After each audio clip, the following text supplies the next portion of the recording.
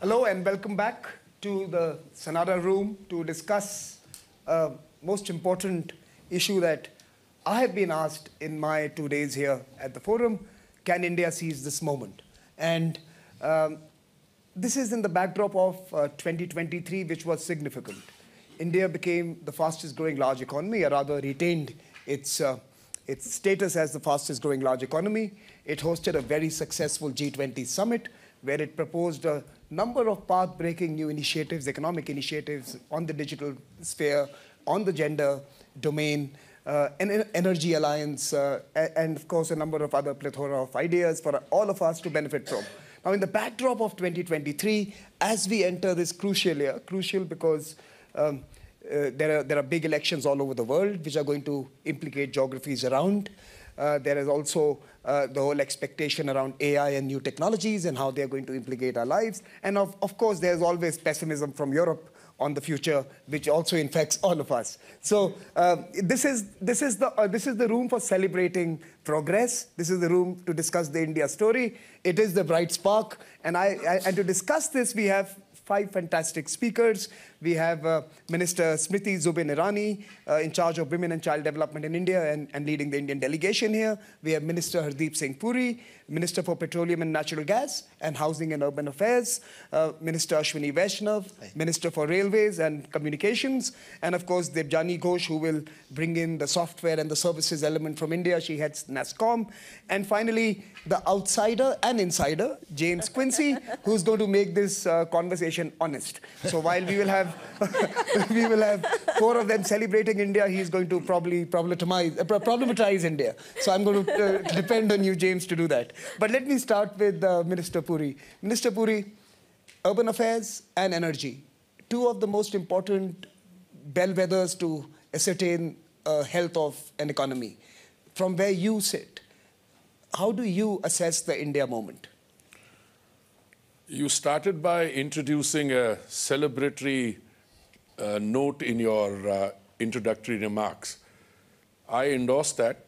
Much of what I've seen in uh, Davos in the last three, three and a half days or so.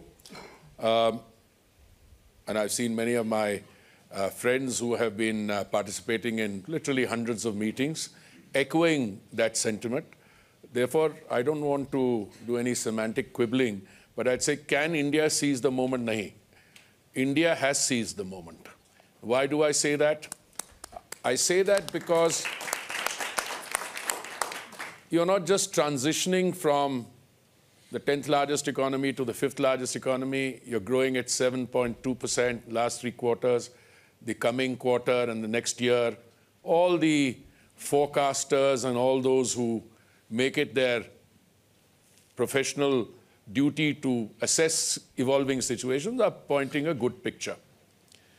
I don't like using words like bright spot, but that is, you know, subjective. But let me give you some hard statistics on the energy front. Uh, some of you may be surprised, but 60 million people go to the petrol bunk or the retail outlet every morning to fill up. These are two-wheelers, three-wheelers, four-wheelers. We consume 5 million barrels of crude, which our refiners uh, use to refine, produce petrol, diesel, and whatever. During the last few years, where the global uncertainties, and I'm choosing my words very carefully, have required some navigation, the government of Prime Minister Modi has addressed all three challenges availability, there was no shortage at any point of time, anywhere affordability, India, and perhaps along with Japan, has had a situation where in the last two years, prices at the bunk have actually come down, mm-hmm. whilst global prices were escalating. But my real, and I say this with a great degree, degree of humility, we have not allowed this appetite and hunger for more energy. You're consuming 5 million barrels, your consumption is three times the global average in the next 20 years, a quarter, 25% of the global demand is going to come from India, more than all the developed countries, because it's a country $4 trillion economy with a lot of appetite because a young population, more consumption. And yet the commitment to sustainability, green energy has not been diluted a bit. Mm-hmm. We were blending 1.4 or 1.5% of our fuel with biofuels in 2014 when the Prime Minister assumed responsibility. We are already blending 12% today. Mm-hmm. When the announcement was made in April 2023 that we were going to go into E20 or 20% blended fuel, we are already retailing E20 at 9,300 or so bunks. Our target for 20% blending, which was for 2030, we brought forward to 2025. Samir, submission I make to you is whether it's biofuels or green hydrogen, the India story stands out. And on green hydrogen, just to fast forward, what is really happening is that you require clean solar energy and you must demonstrate that you can do it economically and you need electrolyzers. We've already demonstrated that we can produce solar energy, bringing the cost of production mm-hmm. down from 23, 25 cents to 3 cents. An electrolyzer, every possible manufacturer of the world is in India. I think the 5 million metric tons per annum target by 2030 is grossly underestimated. We will do more.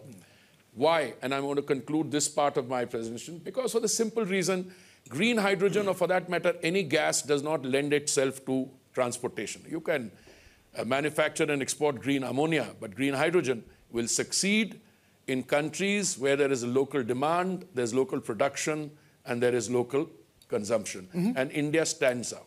I fast forward two minutes, half a minute to housing, or do you want me to come back to on that later? Very quick, a snapshot quick. of housing. All right, very quickly. Uh, what we've done on the urban side, mm -hmm. electricity in every village, all, all um, uh, water, clean water uh, in every tap. But I'll give you one figure and conclude. There was an estimate by a global uh, consulting firm, I'll name it if you need to. They said between 2020 and 2030, India will be building one, between 700 and 900 million, uh, million square meters of urban space every year, which is the equivalent of a Chicago. So you'll be adding a Chicago every year? Well, that is what is being done. Don't now bring the gangsters with them. Okay. uh, uh, uh, let me turn to Minister Ashwini Vaishnaw. Uh, Minister Vaishnaw, those are numbers. India is consuming, India is consuming green energy. India is growing in a manner that's uh, in many ways reflected by its growth of cities as well as its appetite for fuel. 7.2% uh, growth. what are the what are the undergirdings of this growth that make this sustainable, that make this a moment that might outlast previous promises that we may have made a decade ago. You know, George Bush bet on India in 2002. Um, and God bless his soul, it was 20 years hence that we are actually living that moment. So, what is different about the growth now, the structural changes, the undergirdings that we are working on? The last decade has seen a significant structural shift in India's economy. This is basically underpinned by four major pillars. The first important pillar is to improve productivity, to improve efficiency in the economy, major investments have happened in the physical as well as digital infrastructure. If you look at the investments made in infrastructure, from a base of about $30 billion, in this fiscal year, India is investing $120 billion in infrastructure. That has multiple impacts. The impact on productivity is very good the impact on overall economic activity is a multiplier of 3.6. So you invest $100, the economic activity is actually of $360. The positivity it brings in close to 240 industries the steel industry, cement industry, construction machinery, paint industry, lighting industry, cable industry, practically every major industry in any economy is getting a boost because of the physical infrastructure. On the digital side, in the last 10 years, from something around 600,000 towers, telecom towers, we have reached something like 2.4 million telecom towers. More than 600,000 kilometers of uh, optical fiber cable has been laid. A completely digital public infrastructure which does practically every transaction, whether it is payment, digital insurance, digital credit, digital document verification. It's a very, very good structure which has been put in place. So, major investments in physical and digital infrastructure. The second big structural thing which has happened is the entire growth under Prime Minister Narendra Modi ji is a growth which is very inclusive. He has always kept the people at the bottom of the pyramid as the focus of his growth story. I'll give a few numbers. In the last decade, 510 million bank accounts have been opened. 510 million bank accounts. Please absorb that number. That's the amount of, that's the number of people who have, who have been brought into the financial system, into the formal financial system. If you look at the number of houses constructed, 40 million houses constructed for rural and urban poor. That's like completely changing the landscape of a size of a continent. Look at the number of tap water connections, gas connections, gas connections, 110 million gas connections given. So change the entire cooking habits from wood-based to gas-based. Multiple number of factors which are basically bringing a transformational change mm. in the people at the bottom of the pyramid. The third big pillar, third most important pillar is focus on manufacturing. Manufacturing, whether it is electronics manufacturing, whether it is defense manufacturing, pharmaceuticals, chemicals, textiles, practically every sector of the economy very clearly focused incentives, lots and lots of uh, interventions which the industry asked for. It's a government which is listening. It's a government which responds positively to ideas, open-minded government. And manufacturing has again given very good impetus in terms of job creation.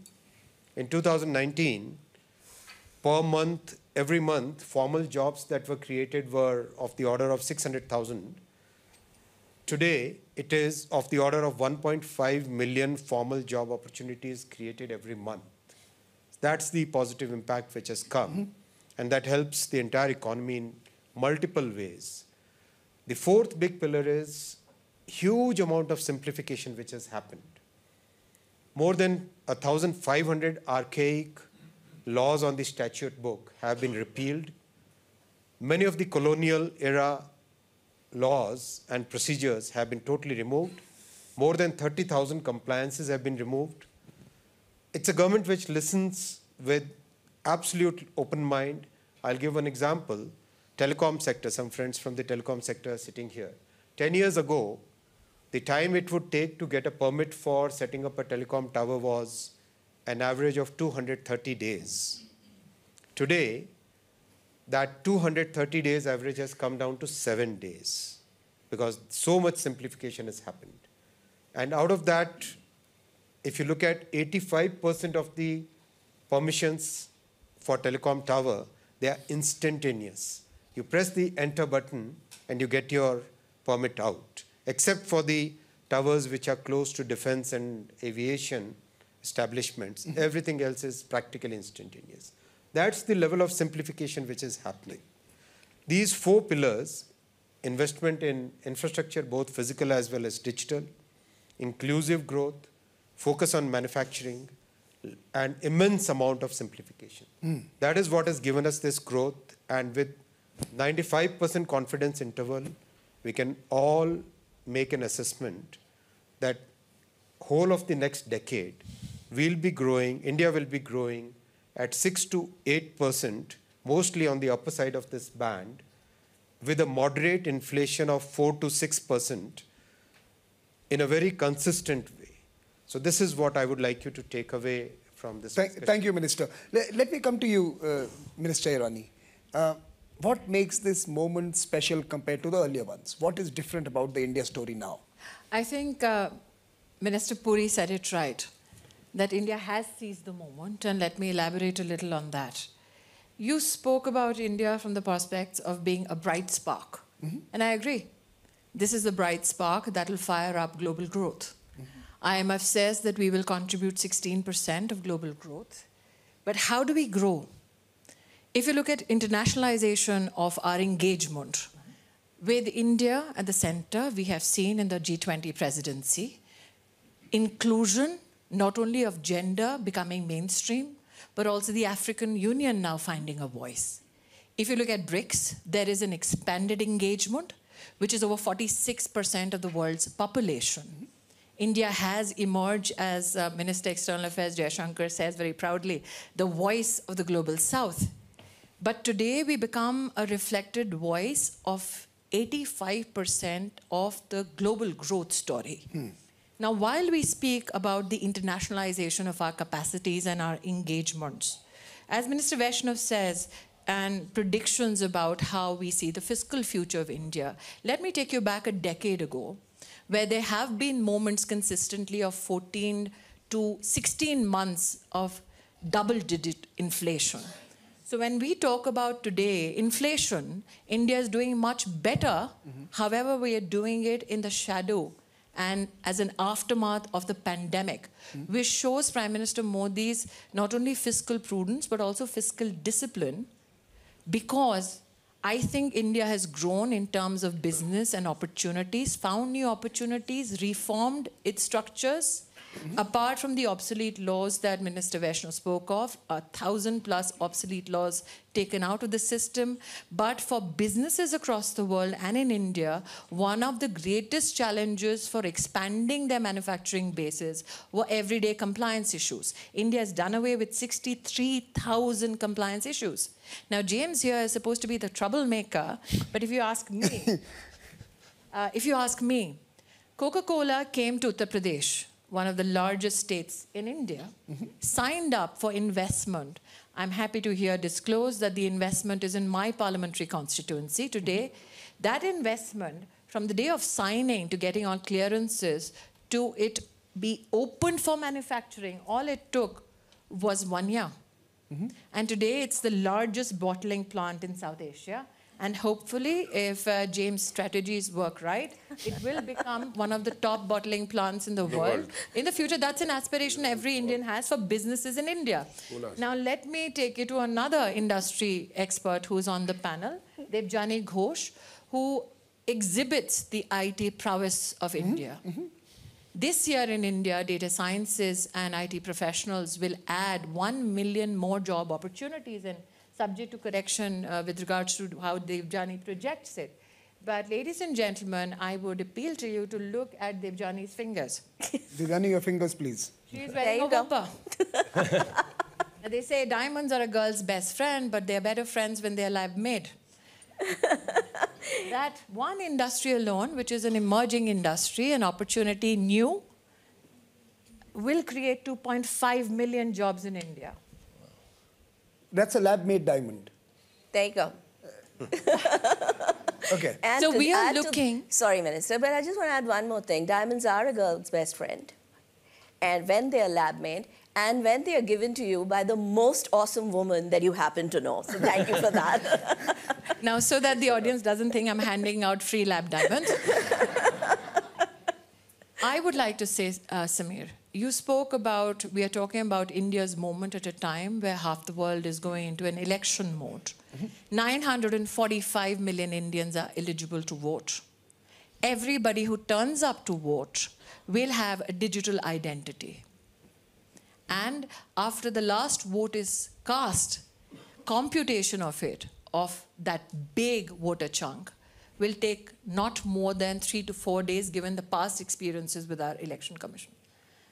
As Minister Vaishnav says, that Prime Minister Modi looks at growth not only from the perspective of business, but how do we leverage digital growth for ensuring that we implement social justice? In the past nine years, 240 million Indians have been taken out of multidimensional poverty.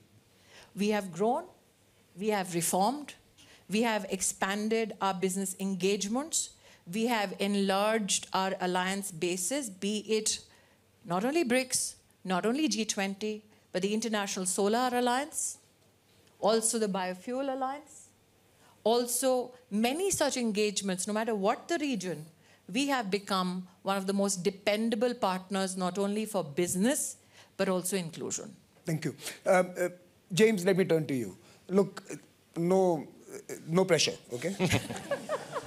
Have a Coke. Okay. Certainly will. So, you know, sitting in, sitting in a uh, company that is betting on uh, certain regions, India being clearly one of the bigger ones that you have uh, placed your future hopes on, how do you assess uh, the last few years and how do you look ahead and, and, and structure your businesses for a uh, country like India? Yeah, let's, let's, let's start with where, where are we now? I mean, India is already the fifth biggest country for us volumetrically, and we have 54 plants in India and 50,000 uh, direct employees. So it's, it's not starting at zero. And actually, I think the question that is posed on the panel of seizing the moment, actually, the, the, the answer can be broken in two parts. The Indian government has seized the moment. The government, the Prime Minister, the work that has been done, I think the ministers described it fantastically on the regulatory framework and the simplifications, the physical infrastructure starting to come in place, um, and, the, and the digital infrastructure is not just laying the foundation. In some areas, actually, they've jumped to the cutting edge of what's mm-hmm. possible, particularly in some of the digital stuff. So, really, the question is actually a private sector question, not a governmental mm-hmm. question. And I think the, the, the, the, the framework and the, and the platform is there for growth. Um, and so I think it's about the private sector uh, seizing the moment. And for us, for example, over the last few years, we've been investing at the rate of about 750 million dollars a year. We are upping it to a billion dollars a year for the next five years. So that's a, a 30% increase in the rate of investment. And we think that particularly for the consumer industries, this really is going to be the moment. Um, you can study economic growth across the world uh, and the GDP per capita point that India is at with the sort of packages the government have in place, it has tended to go along with a big acceleration in mm-hmm. consumer related mm-hmm. industries over and above the growth rate of the uh, general economy. Um, so our business has been growing faster than the, the 6 to 8% uh, from a volume point of view, plus the revenue. Um, we see that extending. So we think this is India's moment for the private sector to see if the government has done a lot of what they need to do or put in place the, the programs that will roll out over the coming years. Uh, and it's certainly for the consumer businesses. And that's going to roll through.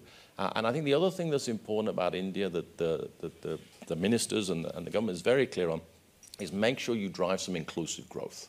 Mm-hmm. Um, so it's not just about investing capital uh, and creating the jobs and, and kind of the well-paying jobs we, we deeply depend on the infrastructure of the country, not just the physical and the digital, but the farming uh, infrastructure. Our brands, mm-hmm. we buy a tremendous amount of agricultural ingredients, whether for our global brands like Coke uh, and Sprite, or our Indian brands like Thums Up and Limca and Maaza, uh, which is a big uh, mango-based uh, drink. So we have a deep objective to have a circular, vibrant, sustainable agricultural supply base. So we work with like 350,000 mango farmers to make sure what we're getting, they drive up their yields, they make more money, we get security of supply. So it, it has to drive down uh, into the business. And the last thing I think is really important for businesses like ours and a number of other sectors, especially as uh, the country pushes into tech, technology uh, and electric vehicles, of which we're a big buyer of electric vehicles, um, is water. It's, it's, it's got a lot of growth potential, but we do need to make sure we focus on uh, water resiliency, and we're very obviously invested in that, and we've got a lot of projects going on in India to support that. So, so seize the moment. So James, now. okay, everything is great. Now tell me, two or three areas that you think India needs to sharpen its game. Um, Look, firstly, uh, let me again emphasize, I think the government has done an extraordinary job over the last 10 years of laying the foundations. I mean, it's almost like how could you possibly identify that many laws you wanted to get rid of? I mean, there are other countries that could do, uh, do well to see how much red tape has been removed in India and how the digital platforms in India are really powerful. Uh, I think the, if, if, there are some areas, um, it'll be like every CEO. No, no CEO ever sent, said, I wish I went slower. It'll be like, okay, can we do things faster? Now that you know where you want to go, can you build one and a half Chicagos a year? I mean, that's the, which is a very positive space to get into. So it's the additionality of, of it's, aspirations. It's additionality, it's, it's, it's speed and implementation. I think also in the, in the laying out of the new frameworks, of course, nothing will be perfect. I mean, I would say something like GST, it's implemented, it's been very effective, but there are, there are ways it can be broadened and further simplified. But it would be to be expected that if you made that much change, there would need to be some continuous improvements and some tweaks. And I think that's where the focus will end up being. It'll be acceleration of the stuff that's working at scale, and tweaking the things that were 95% right, but actually will unlock more if it can be pushed forward and, and, and really make the case that foreign investment uh, is not going to face uncertainty. There'll, of course, be a competitive marketplace, but it's not the uncertainty that should stop them. Minister Vaishnav, can I turn to you on the same question? That you mentioned a framework of those four systemic changes. I'm sure you've also thought about the three or four areas that require greater attention if we are to sustain this kind of momentum. Absolutely. And uh, we are very open minded on where else we need to put our energy and efforts on. For example, some of the foundational uh, industries, for example, semiconductor, that's one of the foundational industries. That's one item on which we need to put huge amount of focus in the years ahead. We have had some very good success. Micron, when they announced the first plant, and again, I would like to give this an example of simplification and the, how fast the government responds. The plant was announced in uh, June 2023. Within 90 days, within 90 days flat, it got all the permissions which were required, all the agreements which were to happen, and it started the construction work. That's the pace at which the country is responding. So these foundational industries we need to put more focus on. We certainly need to put more focus on many other colonial era laws which still needs to be fully fully revamped. And our prime minister has given us a very clear target that every such law needs to be modernized. And we are putting new frameworks totally new frameworks. For example in the digital world we have we have had a law which was of 1885 vintage. We replaced it with a totally new, brand new, absolutely in line with today's telecom sector. We have put a framework for privacy, which is very different from other geographies, where there are geographies which put too much focus on regulation. I won't take any names. They don't put equal importance on innovation. But we have, we have been able to bring out that balance between innovation and regulation, and that's a good template. So these kind of changes we continuously need to put focus on. Debjani, let me turn to you, and let me, since you're also a private sector voice here, let me pose two questions to you. Uh, we spoke about jobs here, and I really want to understand that a country which is going to be a median age of under 30 for next two decades, uh, how are we seizing the digital age or the in age of the fourth industrial revolution to make them employable, to make them part of not only serving India's growth story that we've heard, but also the global deficits for labor that exists everywhere. So how are we preparing a global workforce in your sector? Is that a challenge uh, in terms of uh, at scale, building it up at scale? And, and second would be uh, AI. Uh, are we going to board the bus or are we going to be consumers of AI products produced elsewhere? Can I just ask one more? Are we the bus? can I can I reverse the the question? Please, please Answer go ahead. in the reversal order. Okay. Um, you know, to understand India's AI potential and AI story, I think it's also important to understand India's tech mantra, as I call it. Minister's already talk, talked about the foundation and the structural foundation. I'm going to try and paint you a little picture just to understand what's happening with technology in, in India. And this is everyday India life. Imagine a woman coming from a small city, tier two, tier three city, selling vegetables maybe on the road, street vendor. When you go to her, she will not accept cash. She will have a little QR code. It's a little thing, you know, all of you know QR codes. So she'll have a little board displaying a QR code. You will put, take your phone out, you will scan the QR code, and the payment is made. She is not going to look at papers and go to mandis to figure out the price of the vegetables. She's going to get SMS on her phone, which will give her all the details that she needs. So, this is the power of technology in India, where it is truly changing lives and livelihood at the last mile. So, if we as an industry, as the tech industry, we look at it as technology for inclusion, technology for trust. And I'll come to the AI story on that, uh, with that angle, because today, when we look at the global AI narrative, and I'm sure a lot of you will agree with me, it is not being built for trust. it is definitely not being built for inclusion. Uh, the, the narrative around models and the size of models and AGI is what is being heard today when you talk about AI. And I think there is a tremendous lesson that the world can learn from India's approach to technology that it has to be about scale, population level scale. And population level scale only happens when you trust the technology. You will trust the technology only when it is ecosystem led, open, and not closed and consolidated to a few countries and a few companies. Everyone has to participate the big guys, the small guys, the startups, everyone has to participate. And that is the foundational piece of India's tech mantra. It is completely ecosystem led. It's an open ecosystem which allows for innovation and collaboration and brings out the best. I mean, government is creating the building blocks. You compete by innovating. Who innovates the best will win.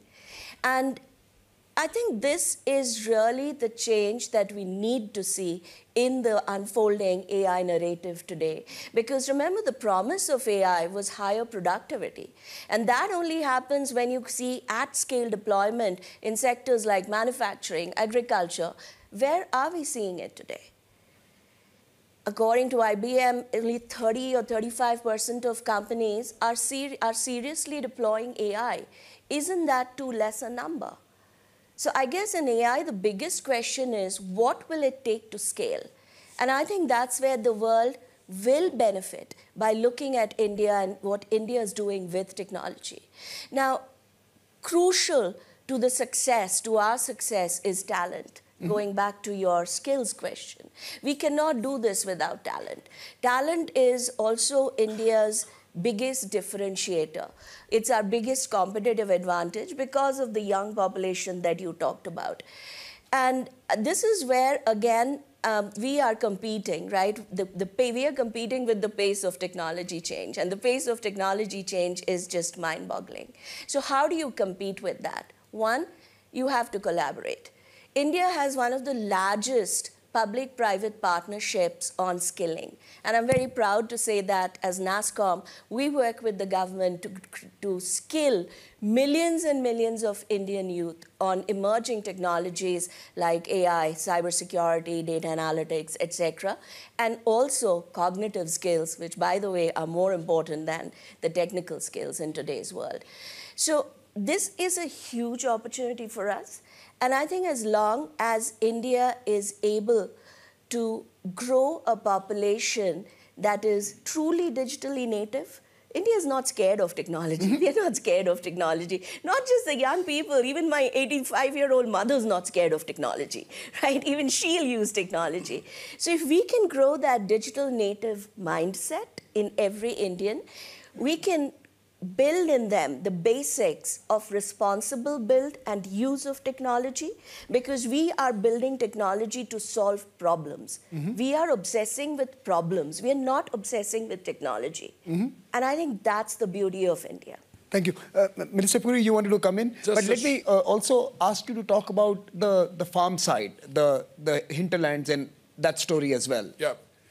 Just a short point. Um, there's an example that uh, Debjani mentioned, um, the street vending lady who accepts payment on this. Now, when we talk about the India story and India seizing the moment, I think a point that has perhaps not been made as in as upfront focused manner is the Prime Minister's extreme sensitivity to those who are the most vulnerable parts of our society. And this street vendor scheme, or Swanidhi as we call it, this was conceptualized during the pandemic, during the lockdown, because people who were involved in agriculture or industry or in other forms of employment, they kept receiving some uh, form of payment which could sustain them. Mm -hmm. But the street vendors went, as in other, some other developing countries, to money lenders who charged them exorbitant rates of interest, and they had to sell their wares and go at the end of the day to return that money. So this scheme was conceptualized, rolled out in record time. In three days, we got that first day. So we have something like 58 lakh, a lakh is 100,000 for those of you who are. Street vendors have benefited this. First loan, no collateral required, 10,000 rupees. So they were in deep debt during the pandemic, used it to repay part of the debt. You pay that back in time, no questions asked, no interest, another loan, 20,000. And you do that, you third loan, 50,000. So they became, your technology was used to integrate this most vulnerable section of our society into the formal economy. They became beneficiaries of all the prime minister's schemes. They became micro entrepreneurs in the process. And I think this is one end of it. Now you come to other vulnerability. I think Smriti ji mentioned uh, the number of, um, or I think Ashwini ji mentioned the number of um, gas cylinders to economically weaker sections. You know, we had 14 uh, crore connections in uh, uh, 2014. We got 332 crores, connect 320 million. But the beauty is in 2016, when we discovered, and you need, we talk about transition. I just came from a meeting where the uh, main focus was that uh, you know, capital only responds to situations where there are good returns. But here, we provided 110 million gas connections to wean our sisters away from, you know, uh, firewood, um, coal, etc.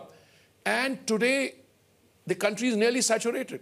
When we go to talk about what has happened in the next 10 years, I invariably ask my uh, audience or my participants, is there anyone without an Ujjwala cylinder?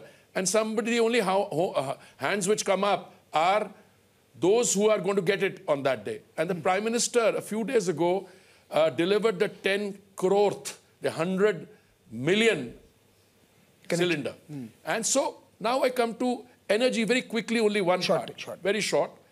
Look, when we go to biofuels, we are saving on the import bill, yes, but we are also sustaining and boosting our agricultural sector. Mm -hmm. We saved 41,000 crores uh, on the import bill when uh, we had the 10% and or those prices, and we were able to pay our agricultural uh, agriculturists 42,400 crores back. When you go up to 20%, and I think uh, one of my colleagues made a brilliant point this morning, this whole strategy is also designed to re-enrich the soil mm -hmm. as to what has been happening. And that is what the uh, whole uh, biomass, bioenergy uh, story is. But I, that would require more time. it requires lots of time, and, and we'll come back to that, I'm sure, in, in another setting. But let me ask uh, Mr. Vaishnav, as we start winding up the panel, final thoughts. Mr. Vaishnav, uh, James made an interesting point that the private sector needs to seize the moment. And I would ask you, how is that happening? We see government being the big infrastructure investor today. Are you seeing uh, the, the private sector co-join you and, and co-partner in with equal gusto? Is that, is that something that's happening as well? That has started. And uh, the way it always happens is when public investment comes, mm -hmm. The first uh, few sectors which get the boost are the sectors which are directly connected with the infrastructure. Then the, then the second order implications, the second order uh, impacts start showing. For example, uh, when we started this uh, policy, our Prime Minister gave a very clearly thought through strategy. And the initial boost was in purely in construction machinery, in steel, in cement, these industries. As this cycle moved, we started seeing uptake in uh, four-wheeler demand, in housing demand, in demand for consumables, that thing started. And as the third order starts, the third order impact starts, that is the time when we see a major uptick in practically every sector of the economy. That has started today. Hmm. And economy's structure, the uh, investment used to be something around 28% of the total GDP that has now come up to 31%, moving towards 32% of the total economy. So that's, that's coming both from the government sector as well as from the public sector as well as the private sector. Uh, James, the young workforce, uh, how is Coca-Cola as a global uh, enterprise viewing this opportunity here? Or do you see this as uh, also a, a, way of, of um, you know, building up your own capabilities within the country? Uh, it's, it's both of the above uh, and more. It's clearly the demographic dividend in India is going to last a long time. Uh, it's a huge source of very highly trained talent, and therefore it's going to be a catalyst and an enabler uh, for us to be able to grow. It's also for us being a source of talent to export outside mm -hmm. of India. So we've had you know, Indians go and run businesses all over uh, all over the globe. So I think there's also an opportunity uh, for, as a platform uh, to, to contribute to the, the, the, the, talent elsewhere. And I think the other thing that I would that underline about the opportunity with Indian talent, because it's not so tied to, well, we've done this 50, this way for 50 years, the rate of creativity and innovation is much higher. Some of the most cutting edge, most in innovative marketing digital marketing is actually coming from India, not the traditional countries of the world. So I think there's this opportunity to actually get on the front edge. I mean, the government got on the front edge with some of the digital programs, and actually the talent can take uh, India to the front edge rather than having them to go somewhere else uh, to do the cutting edge stuff. Actually, it's starting to come from India, and I think that's an exciting next wave of growth. Minister Irani, I will come to you for the last word as we close this panel the India moment, and perhaps some reflections on key attributes and key directions as we close this conversation. This panel has predominantly spoken about the ease of doing business in India. Mm -hmm. Prime Minister Modi says we are building businesses, but we are also in the business of saving lives. Mm -hmm. And I think that's what makes the India story distinct on the global map. To take from what Minister Puri said, that when you deploy clean fuel to 110 million poor women. You not only engage them in a sustainable way of life, but you've saved 400,000 deaths. And I think that's where India stands out.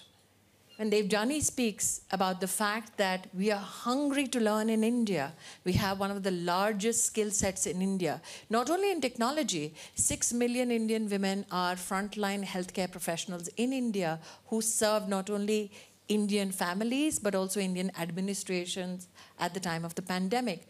But today we have 265 million kids in our K-12 systems, and only those kids are using close to 12 billion plus QR codes for learning. Debjani, just March 23, the learning lessons for these kids online was 5.5 billion learning sessions on the government-made educational platform. Now look at James saying he wants to also focus on inclusive businesses and look after the farming population in India.